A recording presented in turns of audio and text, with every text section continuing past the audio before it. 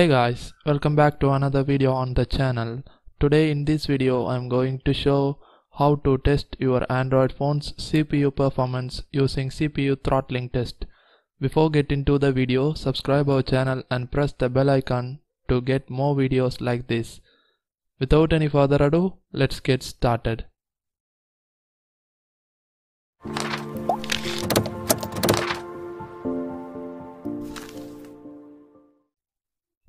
First open Play Store and type CPU throttling test. It may appear first as you can see here click on the app and install the app. Once the app is installed open the app. It will show the instruction click on the OK button to continue.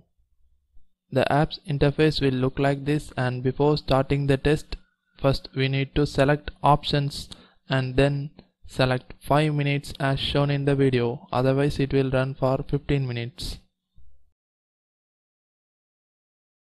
Keep the remaining settings as it is and click on the save button. Now click on the start test button. If the graph shows green color, it indicates that your CPU is working fine and the cooling systems are also working fine. If it turns to the yellow color, this indicates that your CPU is started to throttle. And if the graph turns to red, it means that your CPU is highly throttling.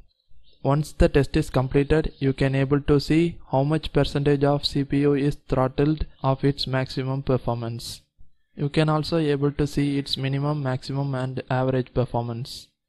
You can also test the Java or native C performance. To test Java, click the test Java button. Choose the test length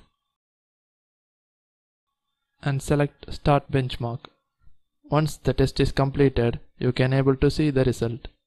Click on the help or instructions button to know further details about CPU throttling.